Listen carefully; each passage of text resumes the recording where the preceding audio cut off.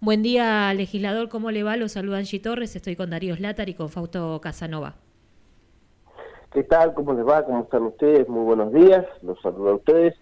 al equipo de la radio y, por supuesto, a toda la audiencia. Bueno, es así. Ayer se llevó adelante una reunión, eh, una comisión especial en la legislatura de Río Negro. Sí, bueno, como, como vos bien decís recién en el prólogo, la antesala de, la entrevista, eh, con Facundo López eh, el año pasado presentamos una propuesta de modificación integral eh, del Código Procesal Civil y Comercial de, nuestra provincia. se creó una comisión interpoderes especial para, para trabajar la temática y bueno, ayer nos dimos cita en la localidad de Viena, la legislatura, la verdad que una reunión muy productiva, eh, con muchos aportes de todos los integrantes. Esta comisión está conformada por los colegios de abogados, por, por supuesto, la legislatura, el Poder, poder Ejecutivo, el Poder Judicial, el Superior Tribunal de Justicia, eh, eh, en un ida y vuelta muy enriquecedor, un proyecto que, que realmente es necesario, que es urgente, la modificación integral del Código Procesal Civil y Comercial para que la gente comprenda, son todos los, los lineamientos, los preceptos que reglan el, proceso eh, judicial de todo lo que tiene que ver con las cuestiones patrimoniales, todo lo que tiene que ver con, con, la materia civil y comercial. Realmente es necesario una adecuación, eh, porque el código nuestro data del año 2006 y, y luego de aquel año pasaron cosas, eh, la legislatura modificó mucha normativa que indefectiblemente impacta en el proceso civil y comercial. Se modificó, de hecho, el código de foto. El año 2015 eh, se sancionó el nuevo código civil y comercial por parte del Congreso de la Nación. Entonces, en definitiva, es necesario ayornar el código a los tiempos que corren. Lo decíamos ayer, queremos hacer una reforma para la gente. Obviamente, eh, teniendo presente la opinión de los operadores jurídicos, pero de nada serviría si esa reforma eh, solamente lo pensamos eh, para los operadores jurídicos y no para la gente. queremos que el proceso civil y comercial en Río Negro sea más corto, sea más ágil, la, que la resolución judicial aparezca más pronta de lo que hoy está apareciendo, eh, vamos hacia una despapelización total, hacia una digitalización total, creando institutos tales como un procedimiento eh, simplificado totalmente oral para los procesos eh, que son menos complejos, bueno, obviamente reducción de plazos, bueno, me parece que es necesario, es urgente la reforma y ayer acordamos puntos eh, importantes. Eh, nos hemos dado un plazo eh, hasta el 30 de agosto para seguir recibiendo opiniones, sugerencias respecto del código en análisis. así hemos quedado y luego de ese plazo, bueno, remitir o dar pase a la Comisión de Asuntos Constitucionales y Legislación General para que siga el ruteo parlamentario y que prontamente podamos estar tratándolo en el recinto y que Río Negro el objetivo es que antes de fin de año tenga el Código Procesal Civil y Comercial, eh, que requiere eh, eh, la actualidad, que requiere la gente. Insisto, queremos que aquel vecino vecina que va a los tribunales, que golpea tribunales por un asunto civil y comercial, tenga una respuesta más ágil, más eficiente y más rápida. Bien, eh, Lucas, sacanos una, una duda. En este caso, ¿es un, la creación de un nuevo código o es una reforma no, una modificación integral. Es una modificación integral eh, del código actual que data del año 2006 y que requiere una reforma integral eh, eh, porque, entre otras cosas, como decíamos recién, la legislatura de Río Negro ha comenzado hace un tiempo largo un camino indetenible de reformas procesales, la reforma del Código Procesal Penal, la reforma del Código Procesal Administrativo, la reforma del Código Procesal Laboral, que indefectiblemente, sumado a la reforma del Código Civil y Comercial, el Código de Fondo que dicta el Congreso de la Nación, requieren e impactan en el Código Procesal Civil y Comercial de nuestra provincia y que requiere una mirada, una reforma íntegra, eh, pero no podemos decir que es un nuevo código, sino que lo que tenemos que decir que es una reforma integral del código que hoy rige los procedimientos civiles y comerciales en la provincia. Bien, y preguntarte, bueno, ayer hubo distintos oradores ahí en, en la sala eh, por parte, no sé, del, del, Colegio de Abogados. ¿Cuál es la respuesta? Ellos han planteado también diferentes tipos de modificaciones en lo que es el andar del día a día, ¿no? ¿Conocen cuáles son aquellos problemas que tiene el actual código?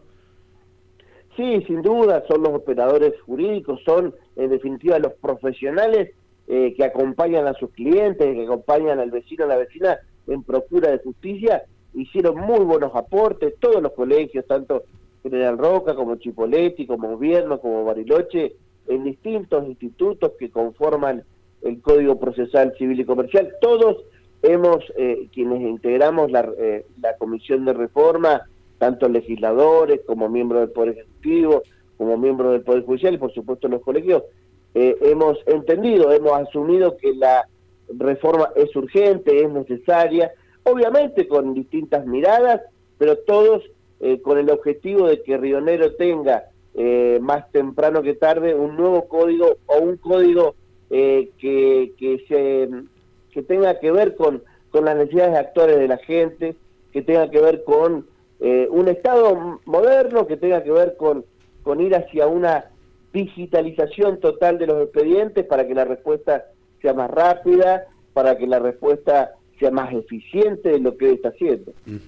Legislador, eh, bueno, ahí la digitalización y cuestiones así, eh, obviamente llevan a, pensar como una incorporación eh, plena de lo que son las nuevas tecnologías que han llegado quizá en la pandemia, la pandemia nos ayudó a acelerar algunos tiempos que se venían dando y cuestiones como eh, audiencias remotas o quizás hasta la, utilización de, inteligencia artificial y cosas así, ¿están dentro de, esta charla o van a estar dentro de estas reformas? Sí, sí, tiene que indefectiblemente tener el impacto normativo, porque ¿qué es lo que nos sucedió? Usted bien lo decía. Eh, Río Negro, y esto hay que decirlo, si uno uno que tiene la oportunidad y la posibilidad de comparar y recorrer otras provincias, los sistemas judiciales, Pionero se adaptó rápidamente eh, a, la necesidad que impuso la pandemia, eh, eh, lo hizo a través de sendas acordadas del Superior Tribunal de Justicia, pero eso tiene que estar reflejado en la normativa, tiene que estar reflejado en el código, audiencias virtuales, expediente digitalizado. uno que ya tiene unos años, yo soy abogado y he recorrido en los primeros años de, profesión tribunales eh, con eh, la libretita, yendo todos los días a ver qué sucedía con el expediente. Bueno, hoy ya eso eh, quedó en el pasado, este, aun cuando uno románticamente recuerda aquella época, la verdad que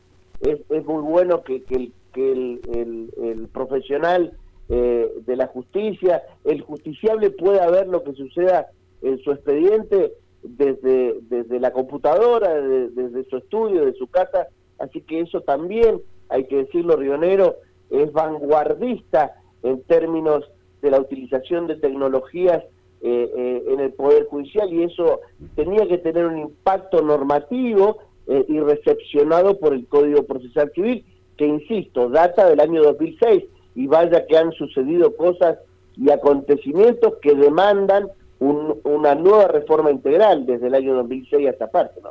Legislador, bueno, si todo sigue como, como, como va hasta ahora, luego del, del 30 de agosto, donde se van nuevamente a juntar, eh, ¿cómo seguiría la situación de este proyecto? Bueno, nosotros hemos dado eh, ese plazo para seguir eh, recepcionando sugerencias, inclusive muchas de las cuestiones que ayer se hablaron, eh, para eh, hacer una, una nueva redacción en base a esas propuestas eh, y una vez que, tengamos el texto lo vamos a llevar al seno de la Comisión de Asuntos Constitucionales y Legislación General. Y si allí lo disponen las autoridades de, los distintos bloques y los legisladores, vamos a, seguir avanzando para que prontamente se pueda estar tratando en el recinto eh, de la legislatura de la provincia de Río Negro y que Río Negro, eh, insisto, más temprano que tarde, eh, y antes del fin de año tenga su Código Procesal Civil y Comercial eh, nuevo, adaptado a las necesidades que, que él hoy impone, ¿no? Muy bien, bueno, la última y aprovechamos para preguntarle también porque está usted eh, también en, en, el tema, ¿cómo avanza eh, el, el, las reformas o el nuevo convenio colectivo de trabajo en Río Negro? Bueno, la verdad que cuando el, el gobernador de la provincia, Alberto Betilet, tomó la decisión de ir eh, eh, en procura de, una necesaria reforma en el Estado eh, para hacerlo más eficaz en términos de prestaciones, más eficiente, más moderno, es decir, que la eficiencia y la modernidad vengan a imponerse en el Estado rionegrino, eh, tenía dos caminos, o ir a la legislatura y juntar los votos, o discutir el Estado que viene con los trabajadores. El convenio colectivo de trabajo es un catálogo de derechos y obligaciones eh, de los trabajadores para con su vínculo con el Estado empleador.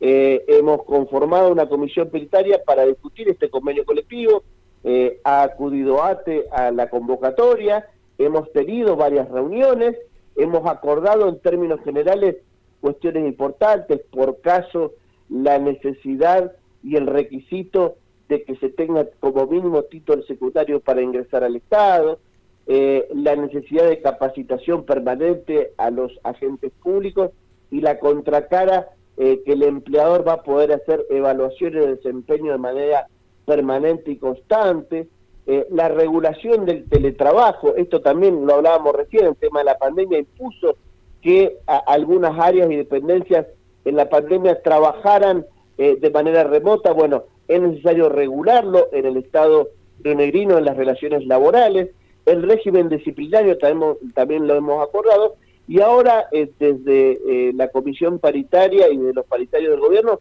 estamos esperando que ATE nos eh, otorgue o nos eleve una, una propuesta de redacción final de todo el articulado y además le van a agregar algunos temas que todavía no hemos abordado, eh, así que prontamente yo creo que vamos a, a arribar a, al consenso definitivo y también eh, me animo a decir que antes de fin de año Río Negro va a tener su convenio colectivo de trabajo.